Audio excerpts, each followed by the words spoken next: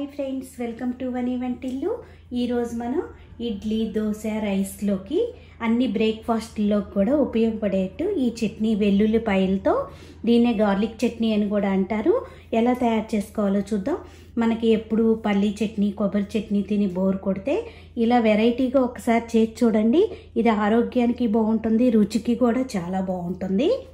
Garlic చట్నీకి కావాల్సిన పదార్థాలు రెండు వెల్లుల్లిపాయలని అంటే మీరు పొట్టు పైన పొట్టు తీసేసి ఒక ఇరవై రెమ్మల్ని ఇలా తీసుకోండి గార్లిక్ వెల్లుల్లిపాయని ఒక చిన్న ఉల్లిపాయని ఇలా ముక్కలు కోసి తీసుకోండి. మీ స్పైస్ని బట్టి ఎండుమిరపకాయలు తీసుకోండి. నేను ఇట్లా ఏడెనిమిది ఎండుమిరపకాయలు తీసుకున్నాను. రుచికి తగినంత ఉప్పు కొద్దిగా చింతపండు. ఇప్పుడు తయారీ విధానం చూద్దాం.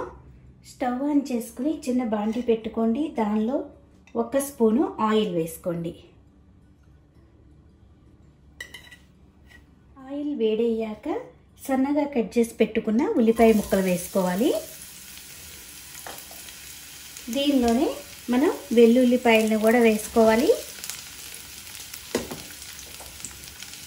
దీనిలో ఇప్పుడు ఎండుమిరపకాయల్ని ఇలా కొంచెం తుంచి వేసుకుందాం. ఇప్పుడు మీడియం ఫ్లేమ్లో పెట్టుకుని వీటన్నిటిని కూడా వేయించుకోవాలి. మాడకుండా మీడియం ఫ్లేమ్లో వేయించుకోండి.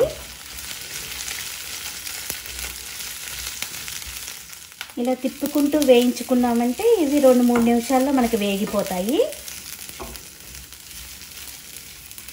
చూడండి వెల్లుల్లిపాయ కూడా వేగిపోయింది. ఇలా వేగాక మనం స్టవ్ ఆఫ్ చేసుకుని దీన్ని చల్లారనిద్దాం. చల్లారాక మిక్సీ జార్లోకి వేసుకోవాలి. ఇలా మిక్సీ జార్లో వేసుకున్నాక దీనిలో ఇప్పుడు ఒక పెద్ద ఉసిరికాయ సైజ్ అంతా చింతపండును వేసుకోండి. ఇప్పుడు రుచికి తగినంత ఉప్పును వేసుకుందాం. కొద్దిగా వాటర్ వేసుకుని మెత్తగా గ్రైండ్ చేసుకోవాలి. ముందు ఒక్కసారి గ్రైండ్ చేసుకుని తర్వాత వాటర్ వేసుకుని మెత్తగా గ్రైండ్ చేసుకుందాం.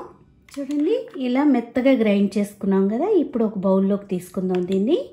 తీసుకున్నాక ఇప్పుడు తాలింపు వేసుకోవాలి. స్టవ్ ఆన్ చేసుకుని చిన్న బాండి పెట్టుకోండి. దానిలో రెండు స్పూన్లు ఆయిల్ వేసుకోండి. ఆయిల్ వేడయ్యాక ఒక వెల్లుల్లి గబ్బాన్ని కొంచెం దంచి వేసుకోండి. దీనిలో ఇప్పుడు మినప్పప్పు ఆవాలు జీలకర్ర. కరివేపాకు వేసుకున్నాం దీనిలో ఇప్పుడు కొద్దిగా ఇంగవ వేసుకుందాం మీకు ఇంగవ ఇష్టం లేకపోతే స్కిప్ చేసినా పర్వాలేదు. దీనిలో కొద్దిగా పసుపు కూడా వేసుకోండి. ఇప్పుడు ఈ స్టవ్ ఆఫ్ చేసుకుని ఈ తాలింపు అంతా కూడా పచ్చళ్ళు వేసి కలుపుకోవాలి.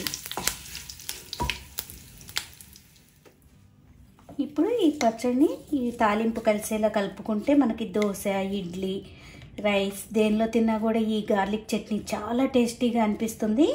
మీరు కూడా ఒక్కసారి ఈ విధంగా ట్రై చేసి చూడండి. ఈ వీడియో మీకు నచ్చినట్టయితే లైక్ చేయండి షేర్ చేయండి కామెంట్ చేయండి. మరిన్ని వీడియోల కోసం అని వెంటనే సబ్స్క్రైబ్ చేసుకోండి. Thank you for watching.